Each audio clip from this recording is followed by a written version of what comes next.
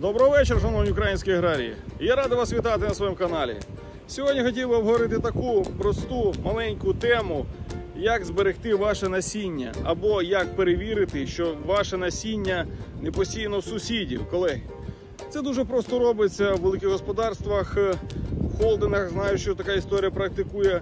Колись я таку історію побачив в Швейцарії, коли компанія Сингента запропонувала аграріям покрасити насіння в будь-який колір. Ця історія коштувала на той час е, декілька доларів на посівну, і хто хоче, може завжди скористатися цією ідеєю.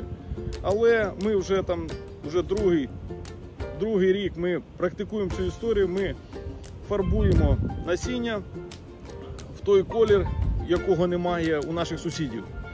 Звісно, ми розуміємо, що ми легко можемо знайти це насіння, якщо воно буде посіяно десь е, на полях наших е, сусідів, тому що воно відрізняється кольором.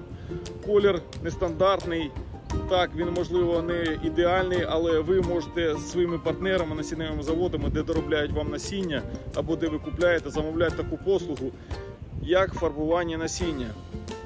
Тобто фарбуєте насіння в той колір, який ви забажаєте або той колір, який є по можливості у підприємства насінневого заводу, і він доробляє насіння саме того кольору, який ви хочете. Там спеціально фарбують в той колір, який нам цікавий, колеги. Тобто е, цей колір він е, унікальний для нас і, наприклад, для наших сусідів.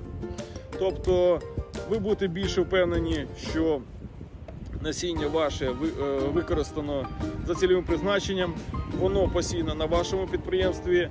Ви будете більше впевнені, що ніхто не позарився на ваше насіння і не посіяв десь, тому що е, дуже легко зрозуміти, хто з ваших сусідів посіяв ваше насіння. І це дуже просто робиться, щоб просто розкопати насіння в рядку. Так що успіхів вам, як завжди, практичні поради. Підписуйтесь на канал, поширюйте дане відео.